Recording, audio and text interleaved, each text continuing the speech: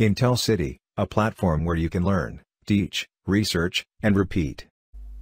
आज की वीडियो में हमने देखना है कि हम C++ में कोई भी दो नंबर्स अगर हमें गिवन हो तो उनका एज एस या फिर जी सी डी मतलब हाईएस्ट कॉमन फैक्टर या फिर ग्रेटेस्ट कॉमन डिवाइज़र कैसे फाइंड करते हैं? तो उसका एक सिंपल सा ही मेथड है।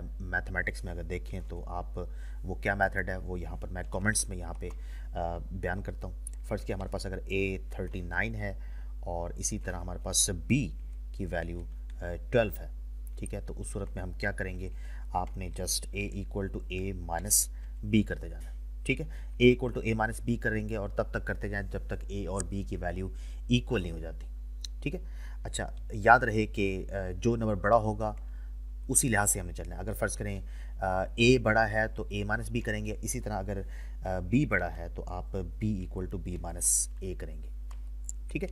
ये दो ये दो स्टेटमेंट्स हम अपने जहन में रख लेते हैं। अब ऐसा करते हैं कि इनको, इसको एग्जीक्यूट करते हैं ड्राई रन करते हैं। तो सबसे पहले ये चेक करते हैं कि ए थर्टी नाइन है और बी ट्वेल्व है। तो क्योंकि ए बड़ी बड़ी वैल्यू है तो इसलिए A equal to A minus B execute होगा।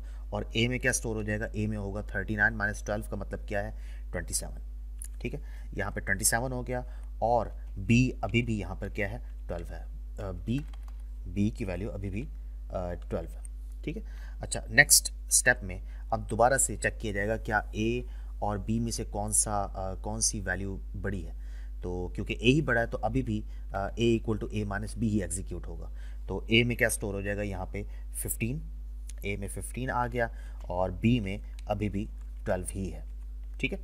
इसके बाद फिर दोबारा से चेक होगा कि ए ए जो है वो बड़ा है या बी बड़ा है तो ए की वैल्यू जो है वो बड़ी है तो इसलिए दोबारा से A equal to A minus B execute होगा और यहाँ पे ए में क्या स्टोर हो जाएगा? फिफ्टीन माइनस ट्वेल्व थ्री ठीक है? और बी की वैल्यू अभी भी यहाँ पे ट्वेल्व ही है।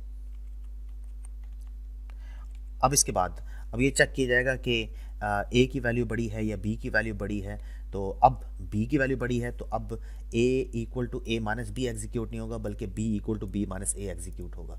तो हम क्या करेंगे? ए इक्वल टू तो थ्री ही रहेगा, क्योंकि इसने चेंज नहीं होना, लेकिन B equal to B minus A होगा। तो B equal to B minus A जब आप करेंगे तो ए की वैल्यू तो थ्री ही है, और बी की वैल्यू ट्वेल्व है ट्वेल्व माइनस थ्री क्या हो जाएगा? बी के अंदर नाइन स्टोर हो जाएगा ट्वेल्व माइनस थ्री इसी तरह दोबारा से चेक होगा कि कौन सी वैल्यू बड़ी है तो बी की वैल्यू बड़ी है तो बी की वैल्यू क्या हो जाएगी यहाँ पे? बी की वैल्यू हो जाएगी नाइन माइनस थ्री सिक्स और ए एज इट इज़ वैसे ही है। ठीक है? अब इसके बाद दोबारा से चेकिंग होगी हमारी कि किसकी वैल्यू ग्रेटर है। तो अभी भी बी की वैल्यू ग्रेटर है तो ए ए की वैल्यू क्या होगी यहाँ पे? थ्री और बी की वैल्यू देखते हैं वो क्या बनती है? देखें, अब A A equal to three है और बी इक्वल टू सिक्स है। तो बी की वैल्यू ग्रेटर है तो B equal to B minus A जब आप करेंगे तो सिक्स माइनस थ्री क्या हो जाएगा?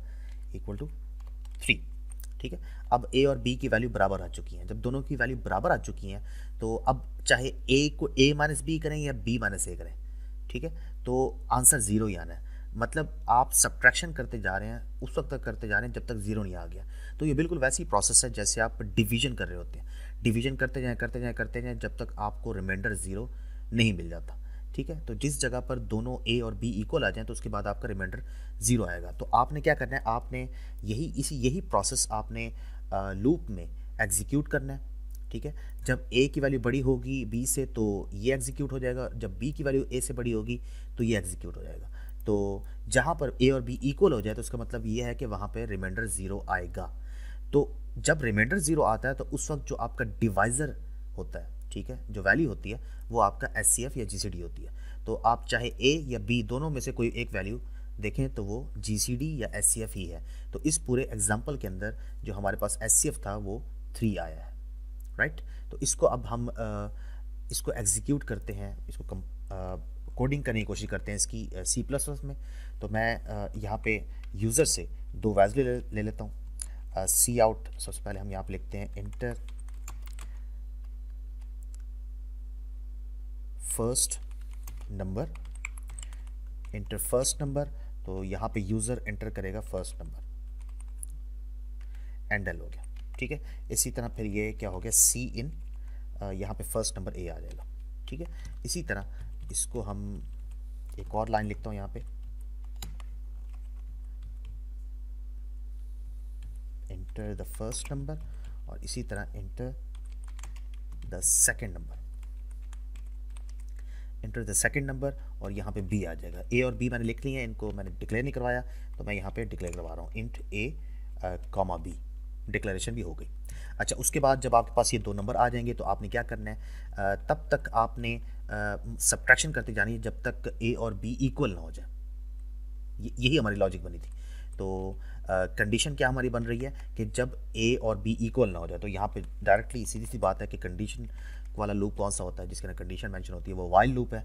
जब तक A not equal to B है, तब तक ये लूप एग्जीक्यूट होता रहे। ठीक है या आइट्रेट होता रहे। तो इसमें भी आपने जो सब्ट्रैक्शन है वो देख के करनी है। अगर ए बड़ा आ जाता है ए की वैल्यू बी से बड़ी होती है तो आपने ए माइनस बी करना है। एल्स आपने बी माइनस ए करना है। ठीक है? तो मैं इसके अंदर एक इफ़ एल्स बी स्टेटमेंट भी लगा लेता हूँ। यहाँ पे मैं लिखता हूँ if A is greater than greater than B तो क्या करना है जी आपने? आपने uh, करना है A equal to A minus B ठीक है? और इसके एल्स में अगर दूसरी कोई कंडीशन आ जाती है like B is greater than A होता है, ठीक है? तो उस सूरत में आपने B equal to B equal to B minus A करना ठीक है? तो इसको, इस लूप से आप जैसे निकलेंगे, यहाँ पे आपका लूप ख़त्म हो रहा है। इस लूप से जैसे ही आप निकलेंगे तो या ए या बी दोनों में से किसी की वैल्यू भी अगर आप प्रिंट करवा लें तो वो आपका जीसीएफ ही होगा। तो मैं यहाँ पे सी आउट करवाता हूँ। Cout cout S C F या यहाँ पर जी सी डी लिखे, मर्ज़ी आपकी। तो एस सी एफ़ क्या बन गया हमारे पास? यहाँ पे ए लिख लें या बी लिख लें, क्योंकि दोनों की वैल्यूज़ यहाँ पे बराबर ही हो जाएँगी। और ये एंडल आ गया। ठीक है? तो इसको अब एक दफ़ा कंपाइल करके देखते हैं कि क्या ये लॉजिक ठीक है या नहीं है। तो कंपाइल किया, यहाँ पे कोई भी एरर नहीं आ रहा तो इसको एग्जीक्यूट करते हैं। सबसे पहले 39 और ट्वेल्व जो कि हमने एग्ज़ाम्पल ली थी, उसको देखते हैं। एंटर द फ़र्स्ट नंबर 39 ठीक है? एंटर द फ़र्स्ट नंबर 39 और एंटर द सेकंड नंबर 12 तो आप देखें एस सी आया, हमने वहाँ पे जो ट्राई रन किया था, उसमें भी थ्री ही आया था। ठीक है? अब दोबारा से हम इसको एग्जीक्यूट करते हैं और कोई और नंबर प्लेस करके देते हैं लाइक मैं 120 करता हूँ।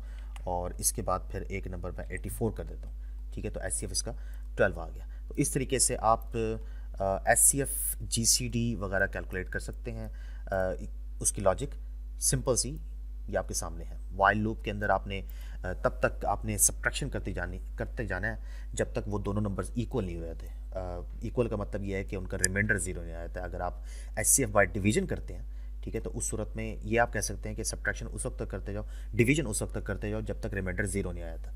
तो जिस जगह पर रिमाइंडर ज़ीरो आता है, उस जगह पर आपका डिवाइज़र जो होता है, वो एच होता है। ठीक है, ये डिवीज़न का केस था। लेकिन क्योंकि हम सब्ट्रैक्शन की फॉर्म में कर रहे हैं तो उस सूरत में हमारी लॉजिक कुछ इस तरह बनेगी। ठीक है तो अगर आपको ये वीडियो पसंद आई है तो इसको लाइक करें और चैनल को लाजमी सब्सक्राइब कीजिएगा। Thank you